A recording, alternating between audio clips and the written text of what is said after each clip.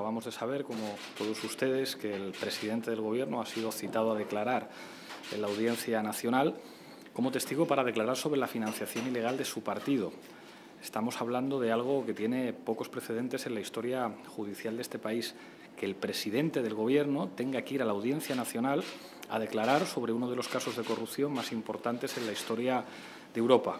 A nosotros nos parece una prueba más de que, de que en este país ha existido y existe una trama que ha vinculado intereses políticos con intereses económicos y la financiación ilegal del Partido Popular es un ejemplo claro de ello. Y desde luego que el presidente del Gobierno tenga que declarar en la Audiencia Nacional es algo grave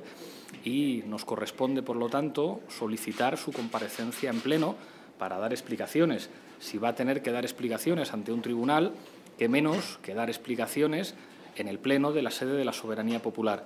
Y esperamos, en este caso, que el Partido Popular y que sus socios de Gobierno, el Partido Socialista y Ciudadanos, nos dejen hacer nuestro trabajo parlamentario, porque nosotros sí queremos preguntarle al partido, al presidente del Gobierno, por la financiación ilegal de su partido, que es algo que tiene muchísimo que ver con, la situación que hay en, con la situación que hay en nuestro país, en la que el partido más corrupto de Europa gobierna. Nosotros llamamos a esa situación trama y nos da la impresión de que cada semana se producen acontecimientos que confirman lo que estamos diciendo.